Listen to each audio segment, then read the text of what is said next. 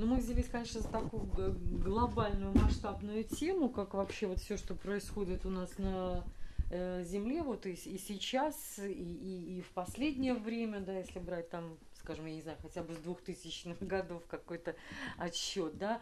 Но вы знаете, вот я что-то подумала, давайте, может быть, сразу, как говорится, с места в карьер, да, а, вот в этих публикациях, которые вы мне переслали, я наткнулась на парочку любопытных фактов, да, о том, что, например, почему это у нас так часто на каменном мосту э, трамваи с рельсов ходят, да, или вот э, та эта авария с водой в районе Браса, э, которую долго не могли ликвидировать, что все это не, не случайные вещи, вот в Риге, в Латвии у нас действительно э, достаточно таких точек проблемных, да, которые, о которых как бы так всерьез, может быть, не задумываются люди, думая, что это какие-то локальные аварии. Или не хотят задумываться.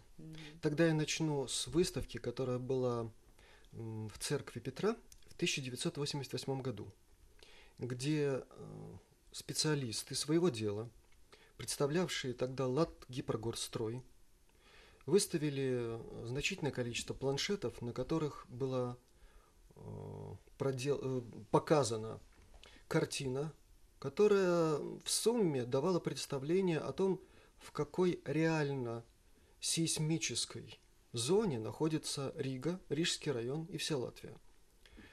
Эм, можно сказать совершенно спокойно, что эту выставку проигнорировали все первые лица тогдашнего советского государства – Сейчас ситуация усугубилась многими причинами, но от этого э, сама фактология не исчезла. Более того, она набирает силы, она набирает печальную статистику, и мы обречены на встречу с подобного рода фактами, как бы нам этого не хотелось. И дело заключается не в том, что кто-то очень сильно зациклился на какой-то теме каких-то разломов или еще на чем-то, что сегодня чуть ли не относят э, к разделу лженаука. Вы, наверное, знаете, что в России существует даже комитет по борьбе с лженаукой. Дело все в том, что срабатывает сумма факторов, которая и не учитывается. Учитываются какие-то отдельные факторы.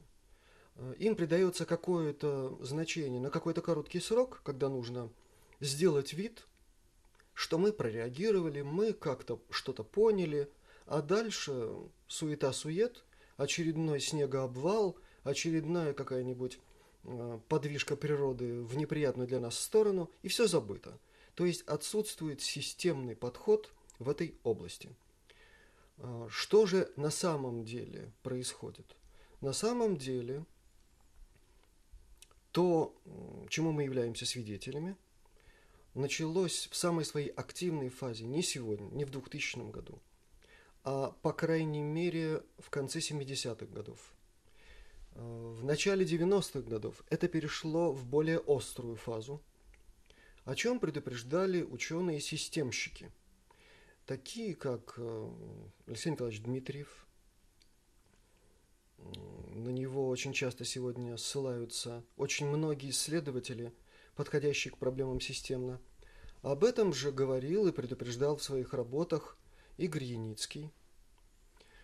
На это же намекали и другие ученые, которые подходят к любой проблеме системно. А, и в, том... а в чем это выражается? Вот в каких явлениях? Это выражается в том числе и в усилении, учащении тектонических явлений, сейсмических явлений. И за последние 20 лет на этом поле было наработано огромное количество интереснейшей фактологии. То есть было доказано, например, следующее. Наряду с обычной сейсмикой, о которой мы имеем какое-то представление, существуют сейсмические события, протекающие в доли секунды, и которые не фиксируются нашими обычными сейсмическими датчиками или сенсорами. Их э, вот э, деятельность такого рода э, событий сейсмических, целостная деятельность, является отражением того положения, в котором сегодня находится Земля. А Земля сегодня претерпевает исключительно мощные э, системные изменения. в самых разных областях э, своего присутствия в мироздании. Это и внутренняя сейсмика, это и взаимодействие Земли как носителя тех или иных видов полей, электромагнитных, магнитных и других, с другими планетами Солнечной системы, с Солнцем. То есть вот о чем я говорю, когда э, обычно встречаюсь с теми или иными аудиториями и пытаюсь рассказать им системно, что происходит на самом деле, когда мы говорим о Земле как о существе фактически, э, переходящем из одной фазы существования в другую. И вот все это отражается на неких событиях, которые мы очень часто называем случайными. Э, видите ли, по своему первому образованию э, я радист, я заканчивал Рижский краснознаменный институт инженеров гражданской авиации, факультет авиационного радиоэлектронного оборудования. И нас учили как следует. Э, институт наш был полувоенный, и э, более того, доучившись до пятого курса, я оказался в группе, которая стала лучшей по военной подготовке. То есть из нас готовили ну, достаточно полноценных специалистов, системщиков и эксплуатационщиков, то есть тех, кто должен разбираться в сути процессов, с которыми они сталкиваются в процессе эксплуатации тех или иных видов оборудования или систем. Так вот, Земля – это система.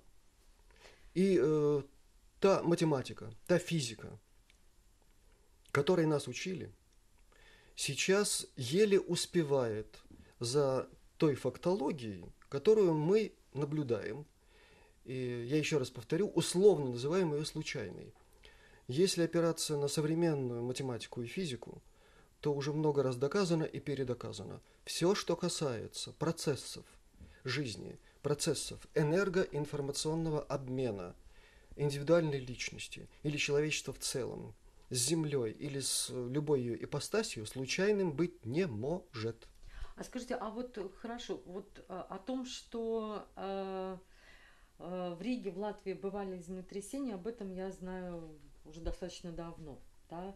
Вот насколько чаще стали эти явления сейчас и, и по своей мощности, интенсивности они как-то изменились Во-первых, если вы поднимете статистику хотя бы начиная с 2000 года, вы обнаружите, что события сейсмические стали чаще.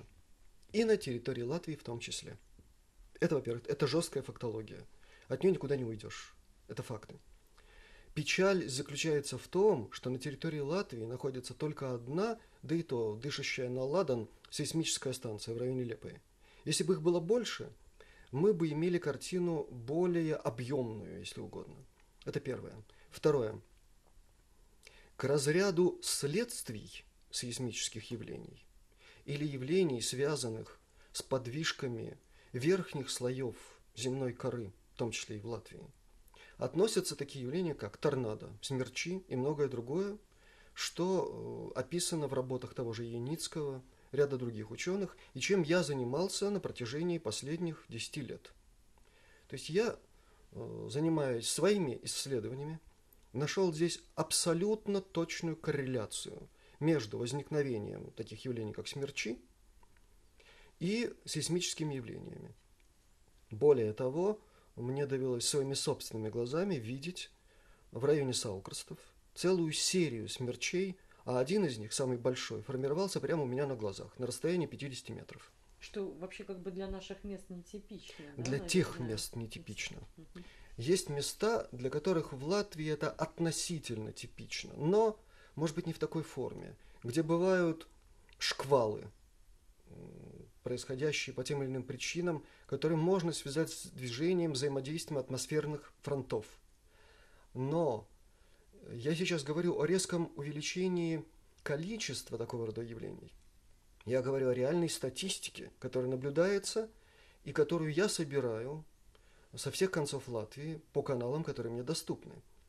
И более того, был случай, когда в одной из газет русскоязычных я рискнул дать прогноз, основанный, во-первых, на собственных наблюдениях, а во-вторых, на информации, которую я получаю от ученых с мировым именем, которые занимаются в том числе и сейсмопрогностикой, и которые доказали свою научную состоятельность точностью своих прогнозов. Э, это было весной, совсем недавно, относительно несколько лет назад. И вот я рискнул, так сказать, поставил на кон свое имя, и оказалось, что, ну, к сожалению, промашки не произошло. И трамваи сходили с рейсов в некоторых местах в Риге в этот день, который был обозначен как день риска. И смерч наблюдался, и многое что еще, и снежные обвал, обвалы э, в каких-то местностях. То есть все это произошло разом. Более того, сюда были вовлечены и сообщения о совершенно необъяснимых явлениях, на первый взгляд, с точки зрения нашей пока еще существующей естественно-научной парадигмы, как волна психозов в отдельно взятом городе. Вот представьте, тихо-тихо, относительно как-то депрессивно, и вдруг в течение полутора суток взрыв психозов – переходящих уже всякие разумные какие-то рамки. Это было на востоке нашей республики. То есть все это можно проверить, вся фактология до сих пор сохранена в архивах.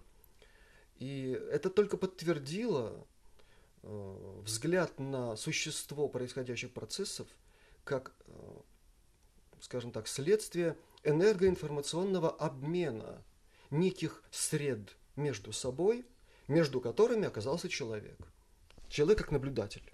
Вот вы в своих э, публикациях говорите, э, все-таки как бы вот э, следуете э, мысли о конце света в 2012 году, который как бы определен давным-давным-давно еще как бы календарем мая, да, который заканчивается на 23 декабря 2012 года, а как бы все такие вот апокалиптические события начинаются с 20 мая 2012 года и как бы в течение полугода длятся и завершаются полной катастрофой на Земле. Это действительно неотвратимо, а... есть тому как бы подтверждение, что мы я начну через с... год я, я вас понял. Начну с того, что ни в одной из моих публикаций я лично не утверждал, что грядет конец света. Вот нет этого. Иначе я, простите, был бы не представителем энеологии, а скорее представителем какого-нибудь гадального салона. Там, кстати, тоже встречаются интересные личности, э, по-разному одаренные. Но я все-таки занимаюсь конкретикой. И в мою задачу входит обработка мониторинговой информации, приходящей со всех концов мира. Это во-первых. Во-вторых, анализ скрупулезный по возможности, ну сейчас компьютерная техника позволяет это сделать, сведение воедино всех потоков информации и после этого совершение каких-то умозаключений которые сводятся сейчас к следующему. То, о чем мы сейчас говорим, безусловно, не есть э, конец света в каком-то эсхатологическом понимании. То есть вот э, какая-то шторка закрывается, и дальше ничего не видно, ничего не существует и так далее, и так далее. Это неверно по многим причинам. Я бы не хотел сейчас углубляться в обсуждение этого – Потому что, в конце концов, это, это не научно. А научно является, научным является то, что планета, как целостный, живой, самоорганизующийся такой организм, находящийся в определенных взаимоотношениях с другими планетами Солнечной системы, претерпевает некую быструю метаморфозу. И вот это может быть связано с очень быстрым изменением э, угла наклона оси вращения Земли по ряду данных, которые на сегодняшний день, буквально на сегодняшний день мы, мы имеем, это уже происходит. Но мы не имеем информации об этом от ведущих мировых научных сообществ по какой-то причине. А почему, вот как вы думаете? Я убежден, что за этим стоят интересы тех сил, которые финансируют современную науку. То есть современной науке не э, Современ... выгодно э, Нет, не, не выгодно не современной науке. Там есть очень много э, очень честных, порядочных ученых, но которые достаточно жестко вписаны в современную жизнь и не хотят лишиться грантов, э, финансирования по своим излюбленным направлениям. А у меня уже были случаи общения с учеными, которые мне открытым текстом так и сказали. Если я хоть где-то, хоть как-то упомяну э, фактологию, связанную с твоей темой, после этого я перестаю получать финансирование своей работы. Меня об этом предупредили. То есть после общения с вами именно, Не да? только со мной, но и с другими интересующимися. Это во-первых.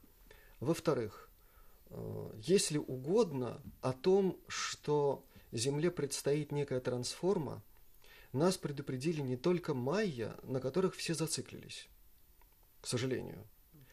Ведь э, древний египетский календарь сакральный, который сегодня можно приобрести в книжном издании в каком-нибудь, он тоже заканчивается в 2012 году и в конце года по нашему летоисчислению. Об этом же говорит Дендерский календарь. Он тоже был изготовлен в Египте. Об этом же говорит сакральный календарь Тибета.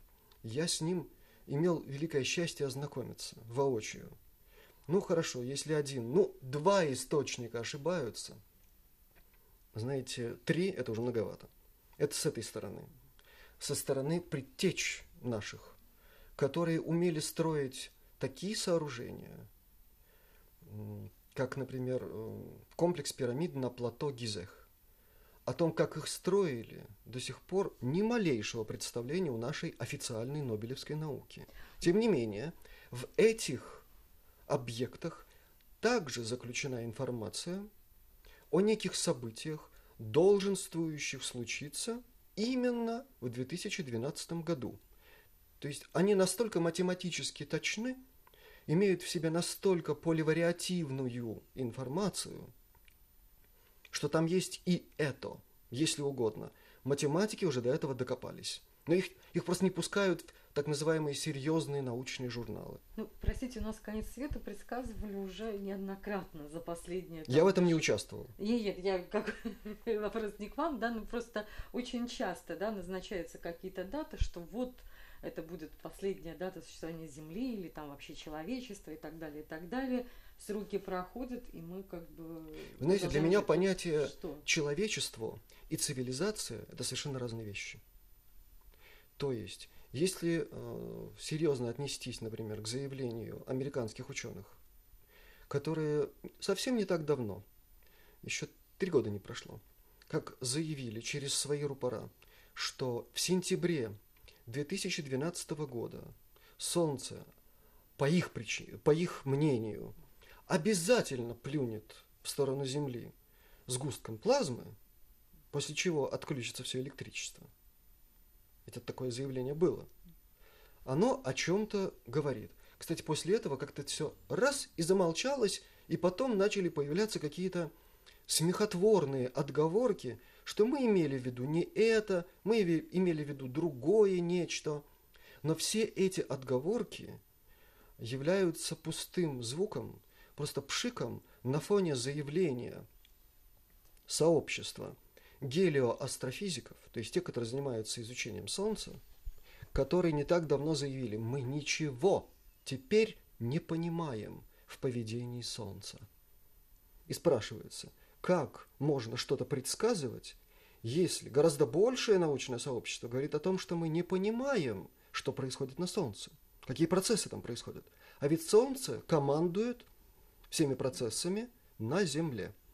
А Юрий, а скажите, вот хорошо, если мы вернемся опять э, в Латвию, да, то в, вот в эти два года, 11 12 пока мы еще как бы не, не столкнулись с каким-нибудь апокалипсисом, а что вот по вашим наблюдениям может сейчас вот происходить и происходит? Вот то, то говорят там зима ненормальная, то лето там необычное, то вот что нас ждет, скажем, вот в, в этом году и следующем вот?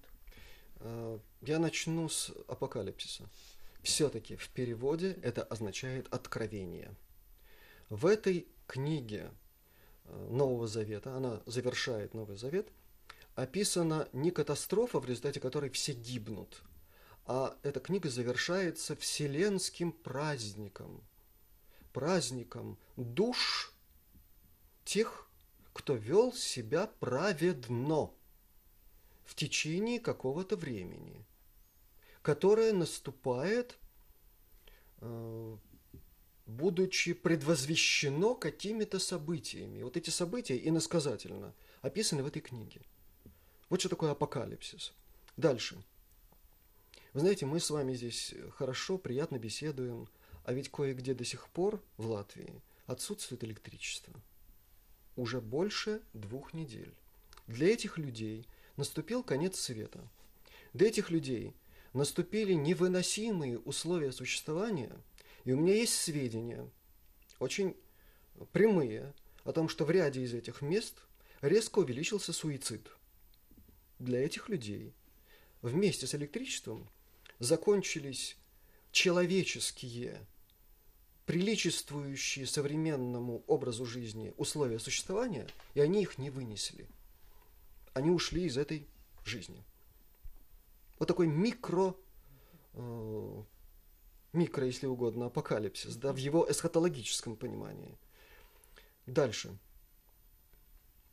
Нам повезло в том, что Латвия находится в относительно спокойном сейсмически месте. Тем не менее, у ее берегов, у берегов э, моря, рядом с Курзами, уже не единожды наблюдали сейсмические явления. Во всем Балтийском регионе за последние два года резко усилилась сейсмика. Резко. В разы. Это можно отследить по сайтам, которые занимаются мониторингом сейсмики в, нашем, в нашей части Земли. А, далее. Число такого рода явлений, как вот эти свалившиеся нам на голову снегопады, оно будет расти. И это обусловлено комплексной сейсмикой, о которой я сказал уже в самом начале. То есть, ну, совсем грубо говоря, Земля стала трястись с большей частотой и амплитудой. Если есть места, в которых это проявляется крупными сейсмическими явлениями, которые могут сопровождаться в том числе и потом и цунами и так далее, то вся Земля повсеместно сейчас перешла в режим мелкой дрожи, а этот режим мелкой дрожи вызывает в атмосфере состояние постоянно действующего сотрясения. Это первый фактор. То есть и атмосферу сотрясает. Дальше, следующий фактор. Уже в первой половине 90-х годов прошлого века было сделано целый ряд наблюдений и заключений о том, что атмосфера Земли просто какими-то невероятными темпами насыщается водяными парами, которые разогреваются и, самое важное, электризуются. В результате мы сейчас дышим уже не той атмосферой, которая была до начала 90-х годов. Она стала более плотной, более насыщенной влагой и другими видами агрегатного состояния воды, и плюс на электризованность. Все эти факторы вместе, плюс дрожь земли, и вот вам все условия для бесконечной череды совершенно потрясающих ливней, когда хляби небесные разверзаются – Э, снегов, ледяных дождей. А ледяные дожди говорят о том, что атмосфера наша не просто стала более насыщенной водяными парами, наэлектризованной, а что она начала расслаиваться. И вот эти расслоения и обуславливают все эти феноменальные явления, когда не просто ну, в течение, скажем, часа прошел ледяной дождик и закончился, а когда это может длиться сутками – двое суток, трое. Существует сейчас э, на некоторых сайтах такие фотографии, что ну просто э, диву даешься. Полметра наледи на каком-то объекте в течение очень короткого времени. А уже все эти факторы, вместе взятые, они являются отчасти объяснением массовой гибели птиц, массовой гибели представителей других представителей земной фауны повсеместно, по всему земному шару. Простите, вот буквально сегодня утром смотрела один из новостных репортажей по российскому каналу, где как бы объясняли, почему гибнут птицы в массовом порядке, да, что, возможно, это связано с каким-то отравлением. Вот ваш, на ваш взгляд, А, выдерживает С- как бы, самыми, самыми юморными оказались румыны. Об этом уже все знают. То есть э, скворцы наклевались чего-то алкоголя содержащего и дружненько покинули мир сей.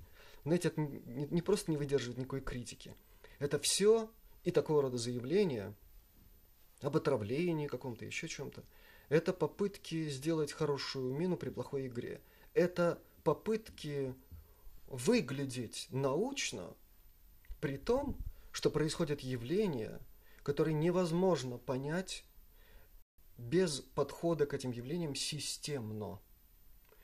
Отсюда и самые экзотические возникают э, и теории, и какие-то домыслы, и все, все что угодно.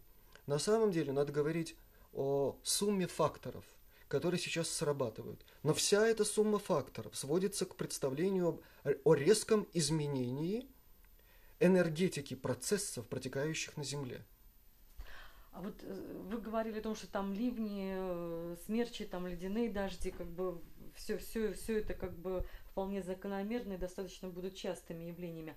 А вот такое знойное лето, как э, в прошлом году, стоит ли его ждать в этом году или в следующем году? То есть это тоже своего рода станет закономерностью климатической или все-таки Сейчас невозможно говорить вообще ни о каких закономерностях.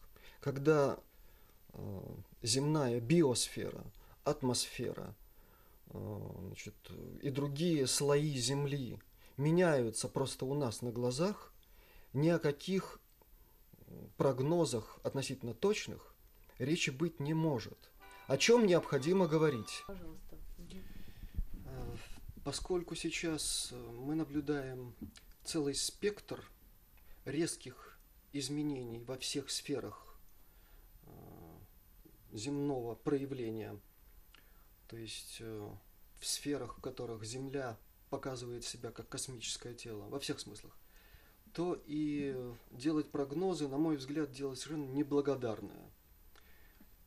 Есть еще ряд причин, по которым сегодня опытные аналитики затрудняются сказать, возможно ли повторение, например, такого же невероятно жаркого лета не только в России, в ряде других мест тоже.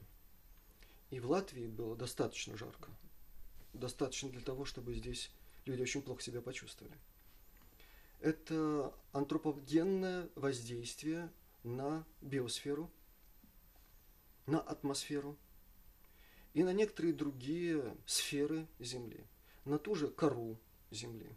Это что, климатическое оружие, о котором сейчас так модно говорить, или это какие-то другие факторы воздействия? К сожалению, о нем стало модно говорить, и во время этого говорения тему стали забалтывать. Это один из приемов сокрытия истинной информации, уверяю вас.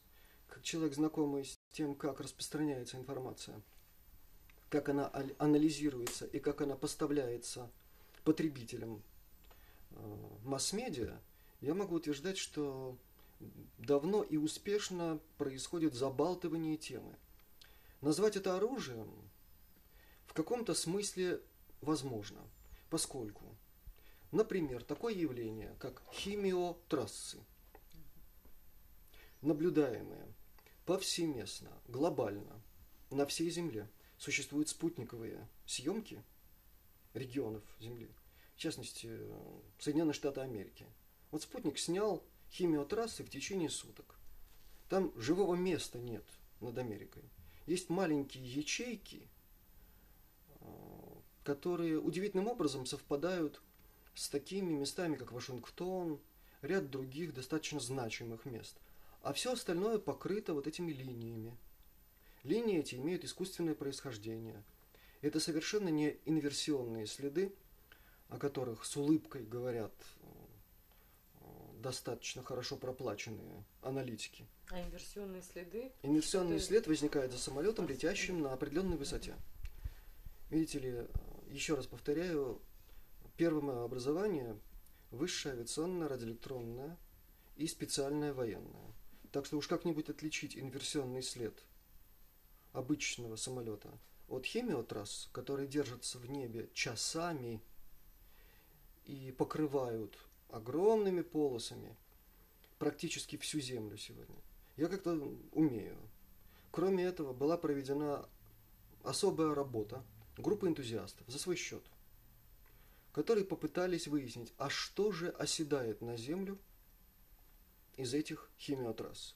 Оказалось, что среди некоторых химических соединений, очень специфических, не встречающихся в обычной урбанизированной среде, в виде выхлопов машин, еще чего-то такого. То есть а они содержат окислы металлов, соединения металлов, таких как алюминий, барий, ряд других. Кроме этого, там содержатся какие-то удивительные микроорганизмы, которые относятся сегодня к разделу нановирусы. А дальше я не буду продолжать тему в этом интервью, потому что это уже связано с очень специфическими лабораториями, которые занимаются своими очень специфическими исследованиями.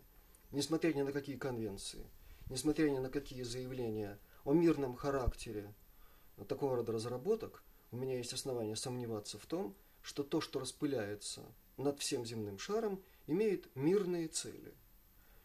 Э, пока, повторяю, этим ограничусь. Но э, если взять только узкую э, часть этих химиотрасс, вот эти металлические соединения, и алюминий, и ряда других, то это все представляет из себя некие формирования, меняющие в том числе электропроводность нашей атмосферы. И создающие глобальную сеть, проводящую, по которой можно проводить импульсы, сигналы, э, какие-то энергии в тех или иных видах, в том числе в виде плазмы. То есть, грубо говоря, можно зомбировать, да? Вы знаете, э, я очень осторожно отношусь к терминам. Слово «зомби» – это из, из практики Вуду. Можно как-то влиять на психоэнергетику людей. Действительно, это имеет место быть. Кроме того, можно влиять на иммунитет людей, живущих на тех или иных территориях. А, а вот опять же, возвращаясь, все интересует на, над Латвией, насколько небо испещрено этими химиотрассами. Вы знаете, как только расходятся облака, сразу видно, что все это работает. То есть мы тоже под этой сеткой, да? Мы, к сожалению, под этой сеткой. Мы все живущие на Земле под этой сеткой. У меня есть информация, которая ко мне поступает от коллег со всего земного шара. От коллег, с которыми я знаком очень давно. И в честности и порядочности которых, как ученых, я убежден, потому что они это доказали своей практикой, и э, риском, которому они подвергают себя, распространяя такого рода информацию. Понимаете, это надо иметь мужество и гражданское, и научное. Так вот, э, все, что касается химиотрасс, это тоже может воздействовать на те или иные феноменальные явления в нашем климате, в нашей погоде, э, в каких-то более или менее быстро протекающих процессах во всех видах биосферы Земли. К сожалению, это факт. Это точно такой же факт, каковым является факт, установленный в 90-х годах учеными, аналитиками, экспериментаторами, занимающимися доказательной наукой, факт сейсмо события в районе четвертого реактора той самой атомной станции, которая делала столько шума. Более того, среди э, моих друзей, приятелей, знакомых, ученых, геофизиков в том числе, существует информация, которая недвусмысленно указывает на причастность к этому явлению каких-то военных служб, тогда еще Советского Союза. Рядом, фактически рядом с этим местом, с Чернобыльской станцией, именно в момент происшествия находились три мобильные сейсмические военные станции, которые после этого оттуда мгновенно исчезли, состав расформирован, и дальше информация о них куда-то потерялась. Но вот что это было? Что это был за эксперимент с отслеживанием сейсмособытий в районе геотектонического разлома, на перекрестии которого оказался четвертый реактор. Самым удивительным образом. И только после этого начались работы, в которых участвовал и уважаемый мною э, ученый Игорь Яницкий и ряд других, выяснилось, что более 90% атомных станций, построенных на территории бывшего Советского Союза, стоят на тектонических разломах. Научно-исследовательские реакторы, в том числе и атомные, в том числе и находящиеся в черте города Москвы, находятся в зоне разломов.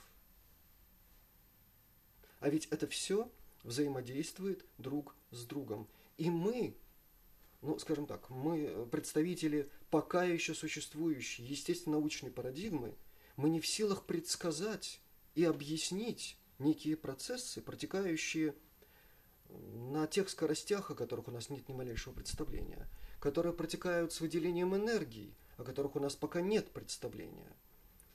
Я могу в этой связи привести только один дополнительный штрих. Он связан с взаимодействием Земли как космического тела с теми видами излучения, которые приходят из дальнего космоса, такие как вспышки сверхновых, вспышки пульсаров и других источников очень большой энергии. О самом последнем таком явлении известно как о явлении 2004 года. Я предоставлю вам информацию, она у вас будет в бумажном виде, специально распечатал. Спасибо. Да, 27 декабря 2004 года, то есть э, хронологически уже после того самого знаменитого цунами, научный мир и общественность были оповещены очень скупо, очень так осторожно о том, что Земли достигла вспышка какого-то источника энергии. А дальше быстро вычислили, что если бы этот источник энергии находился на расстоянии 10 световых лет, то на Земле ничего не, вы, не выжило бы просто. Этот источник, к счастью для нас, оказался на расстоянии 100 тысяч световых лет. Но даже при этом все представления ученых о том, какие могут виды энергии не извергаться на Землю, будем говорить о Земле, они полетели в мусорный ящик. Потому что это был взрыв чудовищной силы, совершенно чудовищный, непредставимый по нашим понятиям и по понятиям астрофизиков до того времени. Теперь они представляют, что такое может быть, может произойти и может воздействовать на Солнце. А оно уже, в свою очередь, может срезонировать и как-то на нас воздействовать.